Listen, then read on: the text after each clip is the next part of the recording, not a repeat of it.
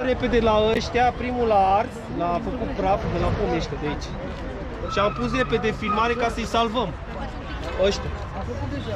Ăștia, ăștia trebuie să-i salvezi sărăia, ăștia au 100 de ani, 100 de ani.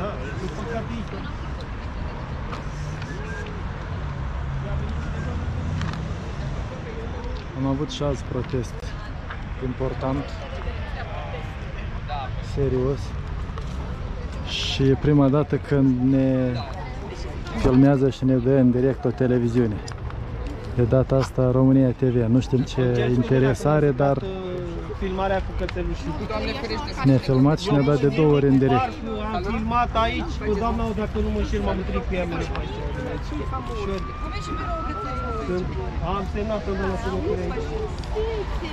Am filmat și cu tractor, când au venit tractoare, buldozele cu astea. Nimeni nu mi-a băgat în seama. Așa.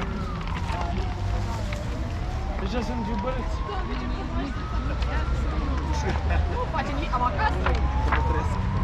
Este mai mărișor un pic. Sperăm naiba că putem face ceva, dacă te uiți ce este, ce s-a Noi de întâmplat. campanie nu facem, încercăm să facem și noi ce putem.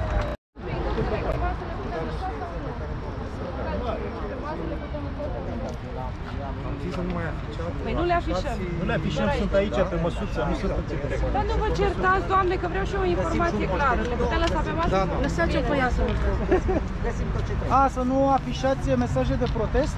Să nu le afișăm în Păi a uh, trecut, exterior. a trecut ora. Deci trebuia Păi până la și ora ce? Hai teren 19. privat, mă, să vină bă, Proprietarul.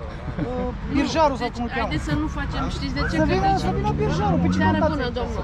Dă- Dă-și iau, dă-și iau sarcina lor și n-are rost să Dacă ne dau luăm foc, cu ei. dacă dau foc la un copac, veniți... uh, Nu, nu reacționează. La foc se poate. Păi nu, pe serios, că dacă dau foc la un copac, nu vine nici dracu. A venit România TV. Da, bă, știu, eu i-am Ce trimis de bine. ieri. Ah, Am zis că, bă, mâine... Ce bine.